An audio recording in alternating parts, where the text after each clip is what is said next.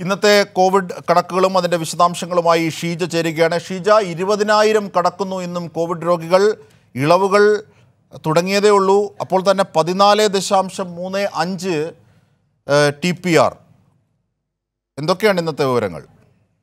പക്ഷേ അത് കഴിഞ്ഞ ഇരുപത്തിനാല് മണിക്കൂറിനിടെ സംസ്ഥാനത്ത് പരിശോധിച്ചിരിക്കുന്നത് ഒരു ലക്ഷത്തി നാൽപ്പത്തി രണ്ടായിരത്തി അഞ്ഞൂറ്റി ഒന്ന് സാമ്പിളുകളാണ്. ഇതിലാണ് ഇരുപതിനായിരത്തി നാനൂറ്റി അൻപത്തിരണ്ട് പേർക്ക് പോസിറ്റീവായിരിക്കുന്നത്. പതിനാറായിരത്തി എണ്ണൂറ്റി അൻപത്തി ആറ് പേരാണ് രോഗമുക്തി നേടിയിട്ടുള്ളത്. ജില്ല തിരിച്ചുള്ള കണക്കുകൾ പരിശോധിക്കുകയാണെങ്കിൽ മലപ്പുറത്താണ് ഇന്ന് ഏറ്റവും കൂടുതൽ രോഗികൾ ഉള്ളത്. മൂവായിരത്തി പത്ത് കോഴിക്കോട് രണ്ടായിരത്തി നാനൂറ്റി ഇരുപത്തിയാറ് എറണാകുളം രണ്ടായിരത്തി മുന്നൂറ്റി എൺപത്തിയെട്ട് തൃശൂർ രണ്ടായിരത്തി മുന്നൂറ്റി എൺപത്തിനാല് പാലക്കാട് ആയിരത്തി തൊള്ളായിരത്തി മുപ്പത് കണ്ണൂർ ആയിരത്തി നാനൂറ്റി എഴുപത്തിരണ്ട് കൊല്ലം ആയിരത്തി മുന്നൂറ്റി എഴുപത്തിയെട്ട് തിരുവനന്തപുരം ആയിരത്തി എഴുപത് കോട്ടയം ആയിരത്തി മുപ്പത്തിരണ്ട് ആലപ്പുഴ തൊള്ളായിരത്തി തൊണ്ണൂറ്റിയെട്ട് പത്തനംതിട്ട എഴുന്നൂറ്റി പത്തൊൻപത് കാസർഗോഡ് അറുന്നൂറ് വയനാട് അഞ്ഞൂറ്റി നാൽപ്പത്തിയേഴ് ഇടുക്കി നാനൂറ്റി തൊണ്ണൂറ്റിയെട്ട്. ഈ രീതിയിലാണ് ജില്ല തിരിച്ചുള്ള കണക്കുകൾ എന്ന് പറയുന്നത്. ഇന്നത്തെ ടെസ്റ്റ് പോസിറ്റിവിറ്റി നിരക്ക് അതാണ് സംസ്ഥാനത്ത് ആശങ്കാജനകമായി നിലനിൽക്കുന്നത്. കാരണം ടെസ്റ്റ് പോസിറ്റിവിറ്റി നിരക്ക് സംസ്ഥാനത്ത് കുറയാതെ നിൽക്കുന്നതാണ് ഈ ആശങ്കകൾ തുടരാൻ കാരണം.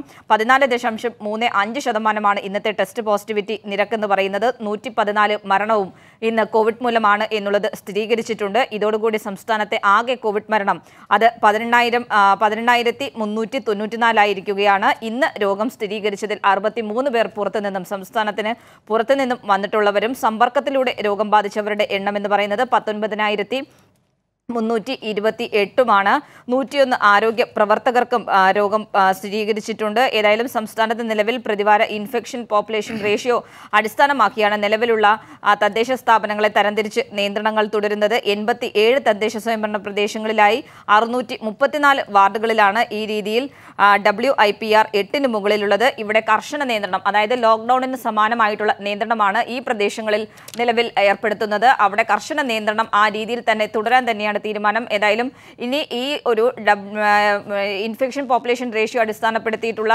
നടപടികൾ സംസ്ഥാനത്ത് ആരംഭിച്ചിട്ട് ആരംഭിച്ചത് വ്യാഴാഴ്ചയാണ്. അപ്പോൾ അതുകൊണ്ട് തന്നെ രണ്ട് ദിവസം കൂടി സംസ്ഥാനത്തെ സാഹചര്യം പരിശോധിച്ചതിന് ശേഷം ഇതിൽ മാറ്റം വരുത്തുന്ന കാര്യവും സർക്കാരിന്റെ പരിഗണനയിലുമാണ്. അജിംഷാദ് അതായത് ഷീജ ഇരുപതിനായിരം കടന്നുള്ള രോഗികൾ ഇന്ന് വരുന്നു. പക്ഷേ രോഗമുക്തി പതിനാറായിരത്തി എണ്ണൂറ്റി അൻപത്തി ആറുണ്ട് അതായത് വളരെ എഫിഷ്യന്റായ ചികിത്സാ സംവിധാനമാണ് കേരളത്തിൽ എന്നതുകൊണ്ടാണ് രോഗമുക്തി അത്രയും ഉയരുന്നത്. പക്ഷേ ഇരുപതിനായിരം രോഗികൾ ഉണ്ടാകുന്നതിൽ പത്തൊൻപതിനായിരത്തി മുന്നൂറ്റി ഇരുപത്തിയെട്ട് പേരും സമ്പർക്കത്തിലൂടെയാണ്. അതായത് നമ്മുടെ ജാഗ്രതക്കുറവാണ് ഇതിലേക്ക് നയിക്കുന്നതിന്റെ പ്രധാന വശം. ഓണം വരാൻ പോകുന്നു അത്തരം ആഘോഷങ്ങളിലേക്ക് പോകുന്നു.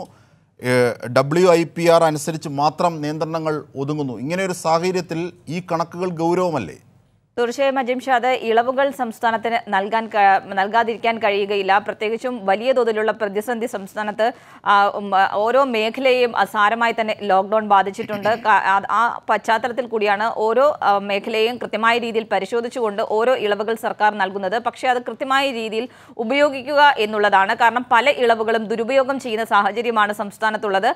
അത് ഒഴിവാക്കുക എന്നുള്ളതാണ് ആരോഗ്യവകുപ്പ് ആവശ്യപ്പെടുന്നത്. കാരണം സംസ്ഥാനത്ത് കൃത്യമായി പരിശോധനകൾ നടക്കുന്നു ചികിത്സ നടക്കുന്നു. ഇതിൽ ഒരു തരത്തിലുള്ള വിട്ടുവീഴ്ചയും ഉണ്ടാകുന്നില്ല. ഈ പരിശോധന കൃത്യമായി നടക്കുന്ന പശ്ചാത്തലത്തിലാണ് ഇത്രത്തോളം രോഗികൾ നമ്മുടെ സമൂഹത്തിൽ ഉണ്ട് എന്നുള്ളത് തിരിച്ചറിഞ്ഞ് അവർക്ക് കൃത്യമായ പരിചരണം ഉറപ്പാക്കുന്നത്. പക്ഷേ അജിംഷാദ് സൂചിപ്പിച്ചതുപോലെ വരുന്ന ഒരാഴ്ച എന്ന് പറയുന്നത് ഓണത്തിന്റെ സമയമാണ് ഉത്സവ സീസണാണ്. അതുകൊണ്ട് തന്നെ ജനങ്ങൾ കൃത്യമായിട്ടുള്ള ജാഗ്രത തുടർന്നില്ലെങ്കിൽ വരും.